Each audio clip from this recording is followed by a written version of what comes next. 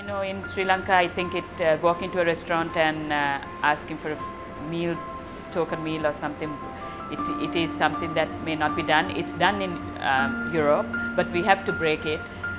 If someone is hungry, they're hungry, and uh, we are all trying to support this. We are all trying to make a difference. Anyone who feels like they want a coffee, or say this represents a, some kind of uh, food, can come and if they see there's a token, can redeem it, anybody, with the intention of only hoping that someone who needs a meal will be given and someone who collects it is someone who's really hungry.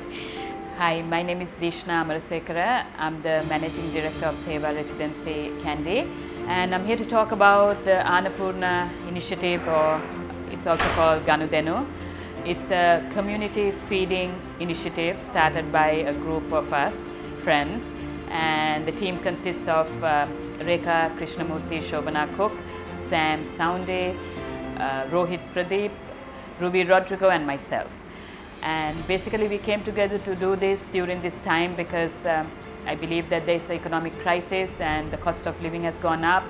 And um, a lot of people are finding it difficult to find a meal sometimes and uh, we thought we'll come together to make this a reality and to get some businesses, cafes, restaurants, hotels to join us to feed people at any given moment. Anyone who's hungry should be able to walk in somewhere and get a meal. I'm Sam Soundy. I'm a garden and landscape designer.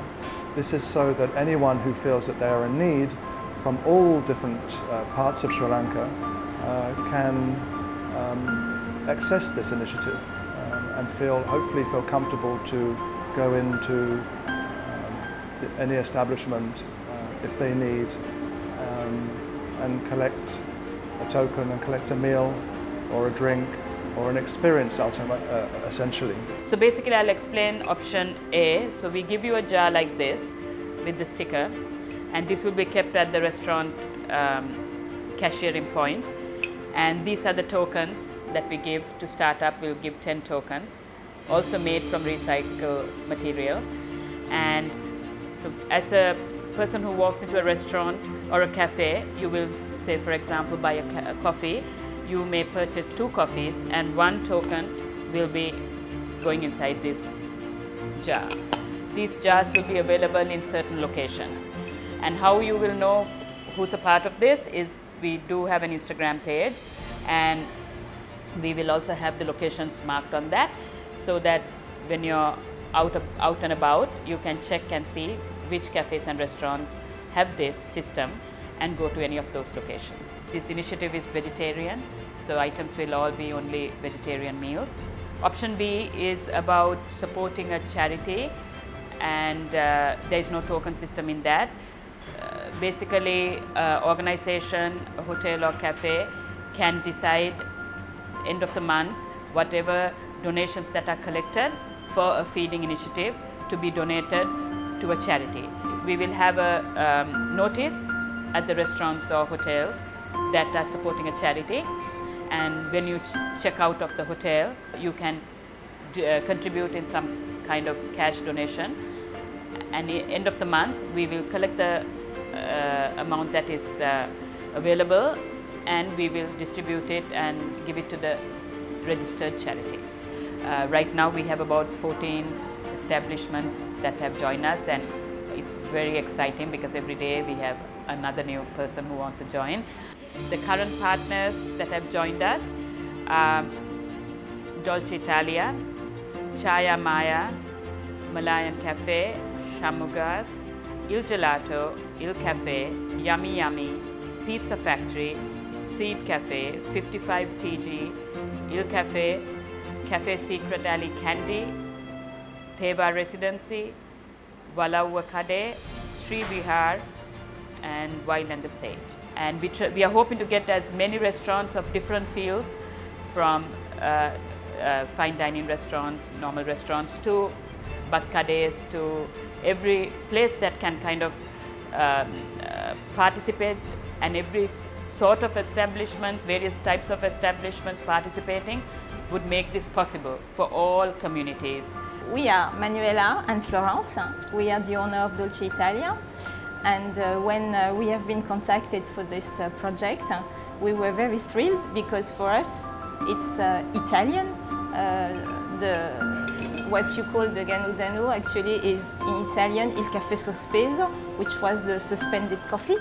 Uh, it's something which started in the right during the Second World War in the south of Italy.